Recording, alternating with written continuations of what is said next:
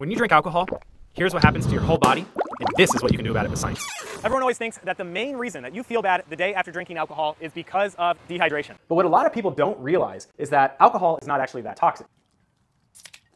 See, that won't actually be toxic unless I swallow it. And the reason is, is because until this gets in my body, it will not turn into acetaldehyde, which is actually the toxic byproduct of alcohol. Through an enzyme called ADH, it converts into something called acetaldehyde. And acetaldehyde is 20 times more toxic than alcohol is itself. And that is kind of what's happening to your liver when you drink alcohol is you're basically, the acetaldehyde is uh, burning your liver. What your body's trying to do is use an enzyme called ALDH, and at a rate of about one drink per hour, it is going to neutralize it and convert it into acetate, which is basically just non-toxic vinegar, and then you pee that out in your urine. 20 to 40% of the reason you feel bad is acetaldehyde exposure. Dehydration really only accounts for 10 to 20% of the reason you feel bad the day after drinking alcohol. 50 to 60% of the reason you feel bad is GABA rebound. Alcohol binds to a specific receptor on the brain called GABA, and this is what makes you feel relaxed, carefree, and generally good. The problem is, is that when your BAC declines, you go into a state of rebound and you crash.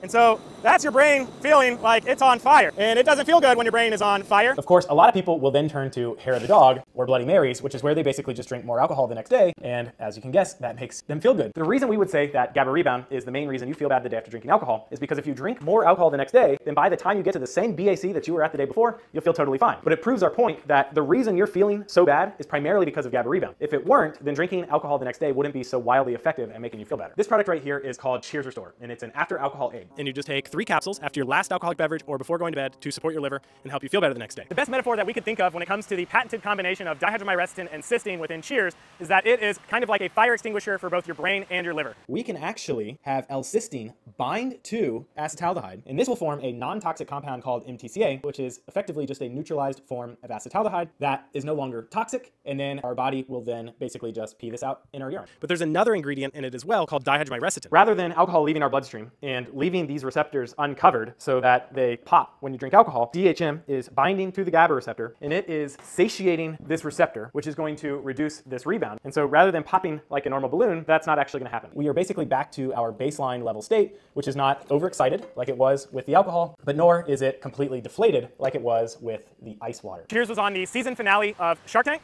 and we have sold over 35 million doses. This right here is our one dose. You can find it at 7-Eleven, Circle K, and a whole lot more places coming soon. This right here is our three pack, and you can find it at Walgreens, CVS, and a whole lot of grocery stores. And this right here is our value pack, which you can get online on TikTok Shop, that site run by Jeff Bezos, as well as our own page, and it is less than three bucks a dose for 12 doses. So whether you're drinking wine, spirits, or beers, always remember to cheers. Science.